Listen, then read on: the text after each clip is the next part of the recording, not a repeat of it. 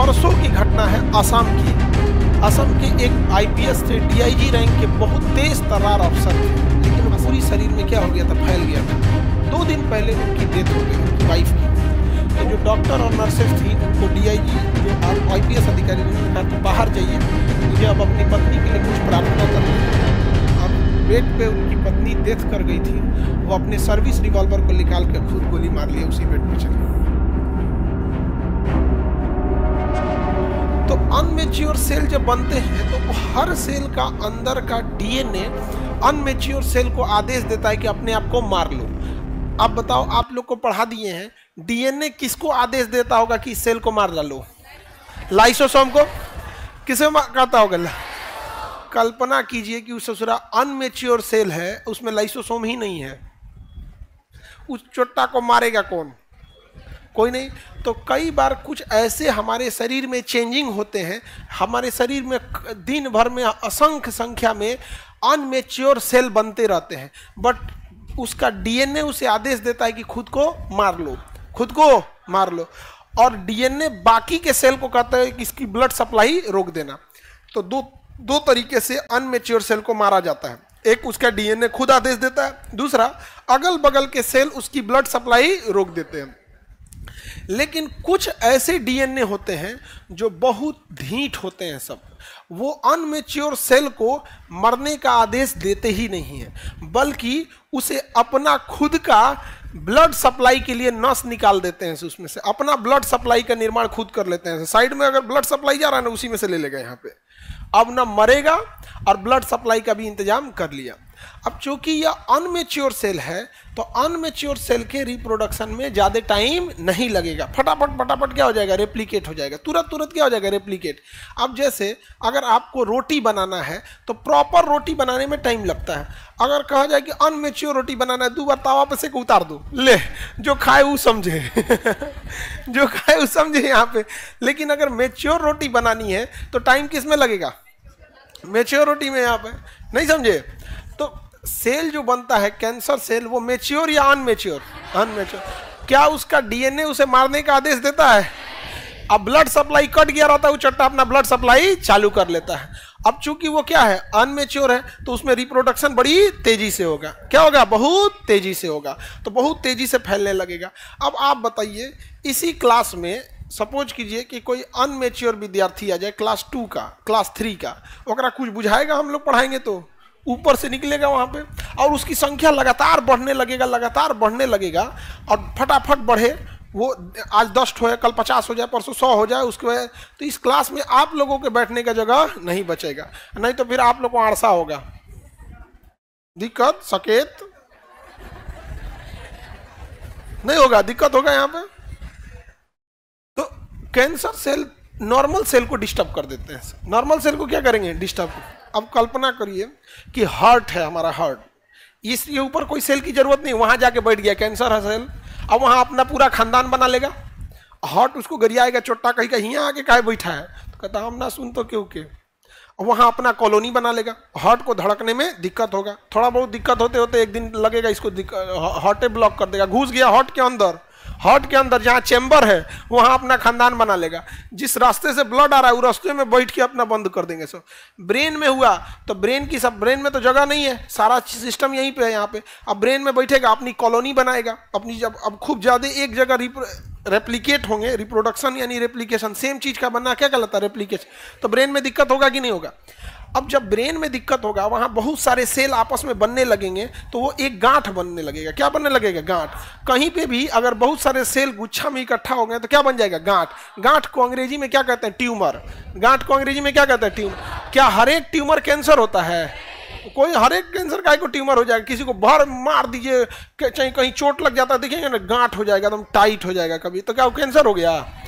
नहीं, लेकिन ट्यूमर अगर वो कैंसरलेस ट्यूमर है तो क्या है? खतरनाक हो जाता है। क्या हो जाएगा? खतरनाक। अब ब्रेन में होगा। अगर ब्रेन में होगा तो ब्रेन में तो हर जगह केवल सप्लाई गया हुआ है। अब वहाँ गांठ बनने लगेगा तो किसी ना किसी सप्लाई को दबा देगा। और जिस सप्लाई को दबाएगा, वो चीज़ें चेंजिंग होने लगेगी। तो कभी लकवा मारेगा, कभी पैरालिसिस होगा, कभी कुछ होने लगेगा, कुछ होने लगेगा। तो डॉक्टर क्या करते हैं? उस ट्यूमर, उस गांठ को क्या करते हैं? ऑपरेशन करके निकाल देते लेकिन फिर बताते हैं वो चट्टा अनमेच्योर सेल होते हैं सब। कोशिका इतनी छोटी होती है कि माइक्रोस्कोप से ही आप देख सकते हैं। किसे देख सकते हैं? अब कौन सा डॉक्टर ऑपरेशन के टाइम पे सपोज़ कीजिए कि किसी के हाथ में यहाँ पे कैंसरस सेल है। बेकूफ पीछे जाओ। अगर मान के चलिए हाथ में क्या है कैंसरस सेल है तो डॉक्टर क्या करेगा? यहाँ से ट्यूमर निकाल देगा। लेकिन क्या कोशिका दिखाई देती है? वो माइक्रोस्कोप से भी नहीं देख पाएगा। ऑपरेशन के टाइम पे तो अंदाज से डॉक्टर क्या करता है? निकाल देता है।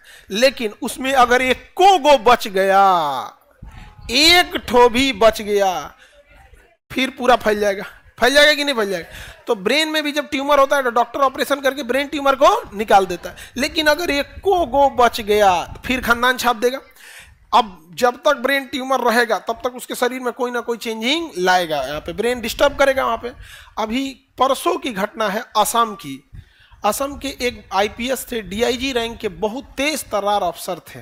असम का एक, कहाँ का, बहुत काबिल उन्हें राष्ट्रपति अवार्ड मिला था। बहुत अच्छे थे। सख्त, कड़क मिजाज के आईपीएस अधिकारी। डीआईजी रैंक तक पे थे वहाँ पे। और बहुत डीआईजी से भी शायद ऊपर रैंक के थे, अब हमको एग्जैक्ट रैंक नहीं आ रहा उनकी वाइफ को ना ब्रेन में वही वाला सेल आ गया अनमेच्योर और बहुत तेज़ी से रेप्लीकेट करने वाला। अब बैठ के ट्यूमर बना लिया, गांठ बना लिया, अब उसमें दिक्कत होने लगा तो कभी एक हाथ इधर काम नहीं कर रहा है, कभी कुछ काम नहीं कर रहा है तो ऑपरेशन करके हटा दिया गया।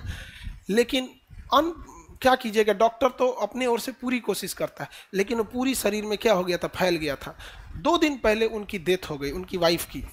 वो वहीं पर थे, तीन चार दिन से तबीयत ज़्यादा बिगड़ने लगी थी वहीं पे। जब डेथ हुआ तो किसी को अच्छा तो नहीं लगेगा यहाँ पे। तो जो डॉक्टर और नर्सेज थी, उनको डीआईजी जो आप आईपीएस अधिकारी उन्होंने कहा था, बाहर जाइए, मुझे अब अपनी पत्नी के लिए कुछ प्रार्थना करनी है।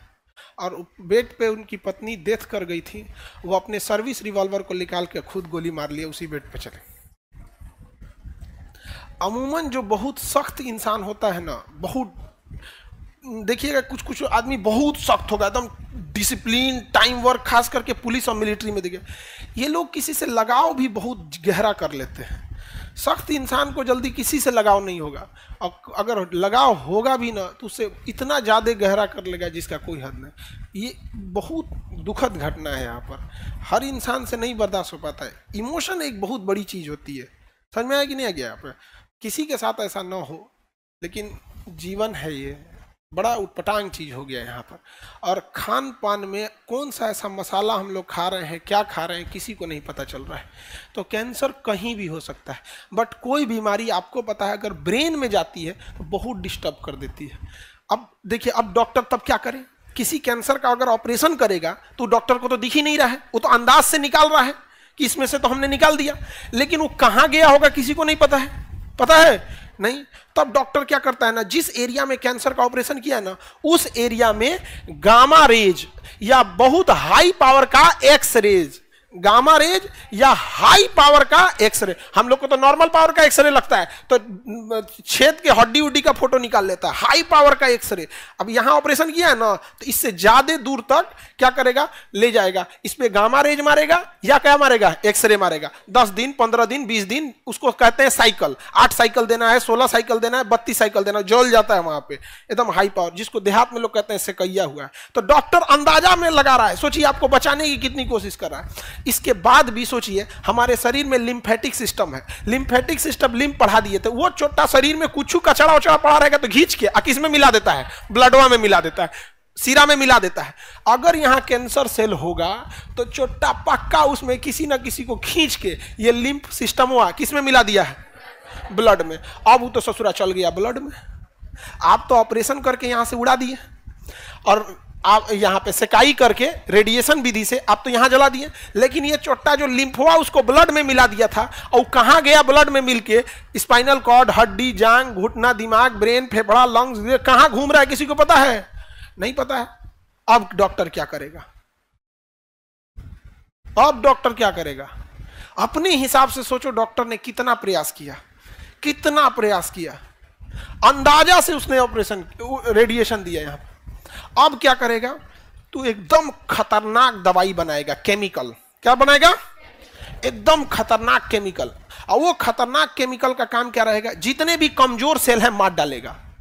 जितने कमज़ोर सेल है, मार डालेगा।